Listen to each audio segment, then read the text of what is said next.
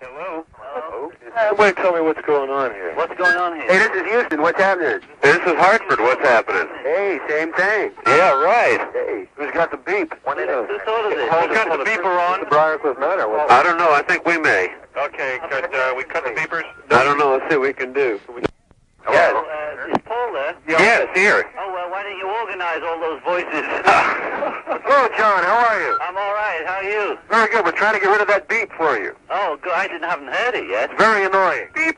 You love all these beautiful voices. Yeah. This is too much. What is going on What's happening? Who is this? Which Drink- one This is Houston. What's happening? Hold it. Why don't we get a roll call here? All right. Sounds good. Let's get a roll call from the East Coast office. Okay. You want me? Since I'm the farthest east for sure. My name's Paul Robinson. Who's on the line anyway? All right, let's call it Ron Berger. You there? Oh, that's right. They couldn't get you. Paul Payton. Yeah, over here. Uh, Bob Slavin. Where? Jerry Lubin. Right here from Detroit. Jim Hilty. Uh, Tony Raven for Jim Hilty in Houston. Uh, Tony Raven for Jim Hilty. Uh, Bobby Reno. Here in New Orleans. Lee Arnold. Oh, they kept getting recording. Uh, Yeah, Philadelphia. Uh, Mr. Morgan. Mr. Weiland from Mr. Morgan. Hi, Dick. Weiland from Mr. Morgan. There. George Meyer. Hello. Hello. Don George Grant. George. Hello. Uh, Pete Larkin. Here. Jim Larkin. Yeah, Pete Larkin. Oh, we got two Larkin. Hey, is that Bruce? Hey, Tom Kennedy. We're with you here in Cincinnati. Kennedy, greetings. what? Hello there. Bruce? Hi, Rich. Finley, how you doing? I know. They're going to make this into a fire sign theater. this is pretty good. hey, Gil, Paul, Paul, let's kick it off. Let's go. Okay, I'll take the first question. John, John, do you want to help me on this? Yeah, I'll take the first question. John? John, when did you first meet John Lennon? Oh, about 1940. John, Yeah? why the oldies? Why not? okay. No, I mean, I've been uh, thinking of doing it for years, and in between doing other albums way back in Beatle days and since, when in between takes, like, we'd always start messing around and we'd always play those songs, you know? Uh, Be-Bop-A-Lula, Ain't That a Shame? Has it taken you a couple of years to put it together? I noticed on the back of it, some of it was done in 1973 and Well, some it in was a 1974. psychodrama, and uh, it, it was called Phil Spector. Right? Uh, and I started it in 73 with Phil, and it sort of petered out. The album is very good to dance to, and I noticed that a lot of music coming out or being influenced now is dance music. Was that any part of? Uh, No, I mean, I, I was just, uh, when I started it, I just finished Mind Games, and I felt like just singing oldies and not being the producer. So the ones with Phil on, he produced, you know. But the thing collapsed. He had a, a or supposedly, I don't know, you never know with Phil, he had a, a car accident, and then I never got hold of the tapes till just as I was starting Walls and Bridges. So out of about eight tapes, about four of them were really worth using, you know. What are your personal favorites on it? Uh, oh, that's pretty hard. I, I like Stand By Me, and I, Bebop is one of my all-time favorites, so I like that, you know. Hey, John, Yeah? when you did that album, did that kind of bring back a lot of memories of the old days doing those old rock and roll tunes like that? Yeah, uh, there was some... Uh, it was deja vu, as uh, Crosby, Stills, and Knickers always say. Uh, Must have been a lot of fun talking to a friend, down. you know, when I was doing something like Peggy Sue, which I hadn't sung since I was about 16, I suddenly, in, on, on the take that turned out to be the take, I suddenly found myself just remembering it all in my head uh, without reading the lyrics and just remembering all the inflections when I used to imitate Holly. so I really would sort of suddenly find myself age 16 again doing them. And it was quite a trip.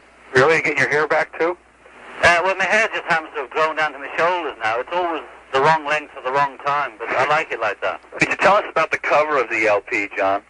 Uh, the cover was a picture taken by uh, a German friend of of my of, of ours, the Beatles, in 1960 in Hamburg, and the three shadowy figures on the front, for those of you who've got the cover or will see it, are Paul.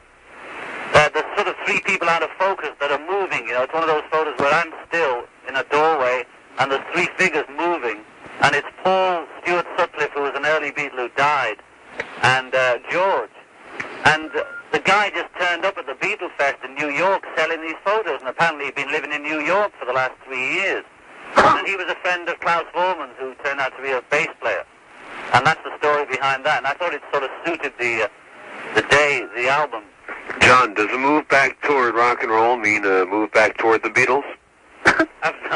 In, in other words, uh, how about those rumors of the group reforming that, that are always around? What you know, what status is that in, if any?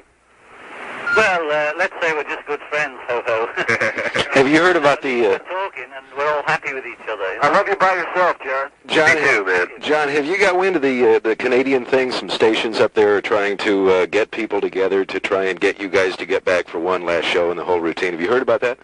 I haven't heard about it, but the thing is, if we got back together, it wouldn't be for one last show, right? I mean, I, I should think so. you know, and obviously, I, my instincts are, if we ever do anything together, it'd be more sensible for us to sit in a studio together and, and get relaxed together and make some music before we went stomping out, you know. No, I haven't stage. not saying that's in the offing. How's the legal thing? You getting any amnesty?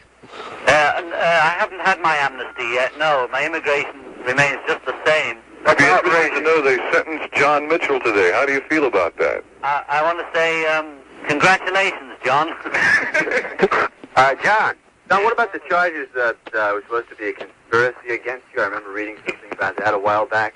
Well, it's it wasn't against me personally. I, there was like a fishnet out in the late '60s, right? Yeah. And they just hooked in everybody, and I was part of the people they hooked in because I was associated or seen around with Rubin and Hoffman and those people, you know. Yeah.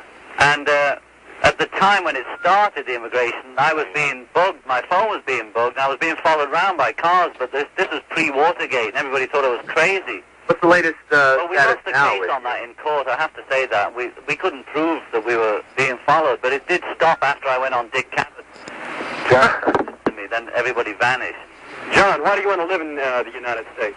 because um, I love it. you know, I don't know what else to say. I just like it here. And if you leave, you can't come back, right? I think he left.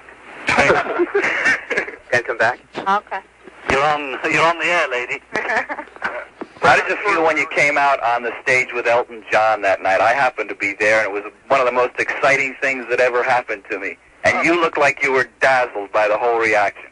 Well, I, I hadn't been on the stage for three years or something, and uh, it was really weird, you know, especially when I woke up and looked round and it was some other guy's band, you know. You seem to have mellowed out a bit, John, since the first solo album. That was full of a lot of pain, it seems.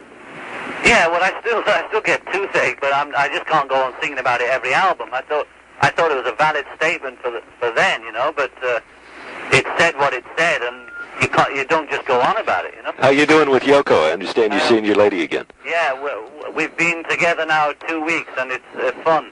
John Houghton from Milwaukee. Are you insecure about your voice? Uh, yeah, I hate it. Is that why you always use a lot of echo, no matter whether you're doing oldies or newies or what? But? I just like that sound, you know. I mean, that that's the sound that turns me on. If I'm not using actual tape echo, I use a, a machine which everybody uses anyway. Uh, I can't remember the name of it. There's different variations of it. I ve- very seldom just have a straight voice. Otherwise, it doesn't sound like a record to me. John Lennon? Yeah? Will Bartlett, PDQ-FM in Jacksonville. How much unreleased material does uh, the Beatles have in the can? Uh, practically nil. The only unreleased stuff is the stuff that is not, it's like bootleg that came from weird concerts in Sweden and places like that. John, we in Chicago are outraged by all of this nonsense they're causing you, and something you may be interested in. A senator's son went to a, the Jethro Tull concert in Chicago last night and was busted for an ounce of grass and sent home two hours later.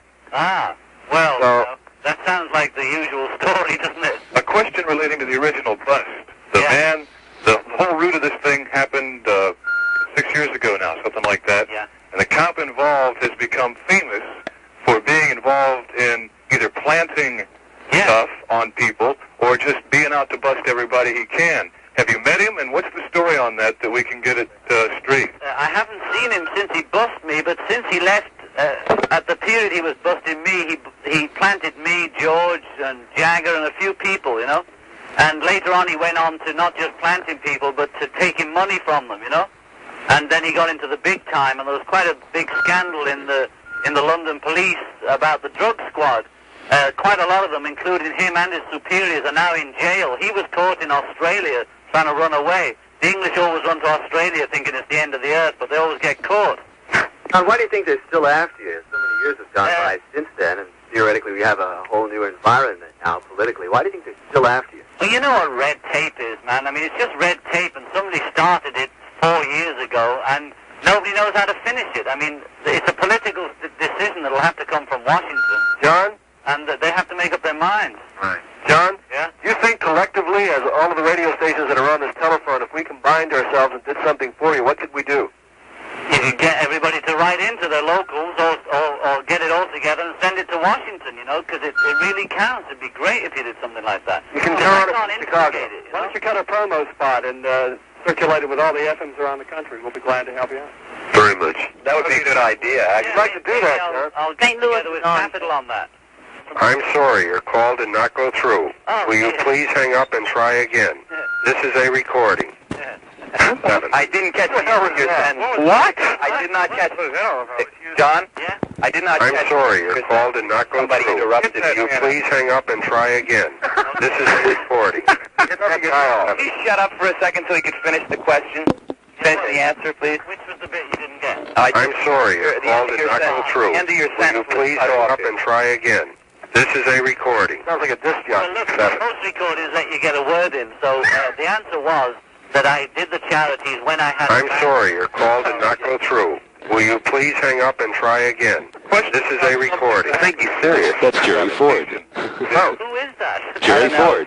Ford. Not The too booth announcer. I think it's real. I'm sorry, your call did not go through.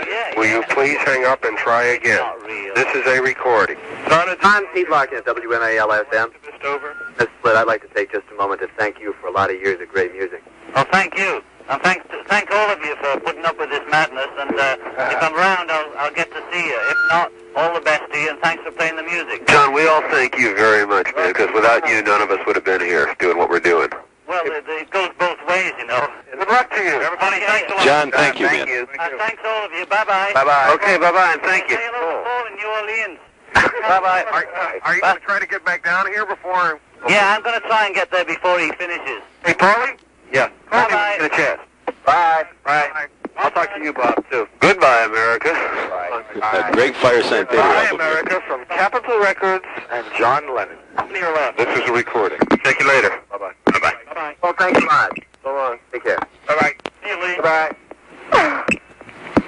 Strange. Who's left? Alcohol for alcohol. Crazy. Thank you, Paul. Oh, hey, Paul.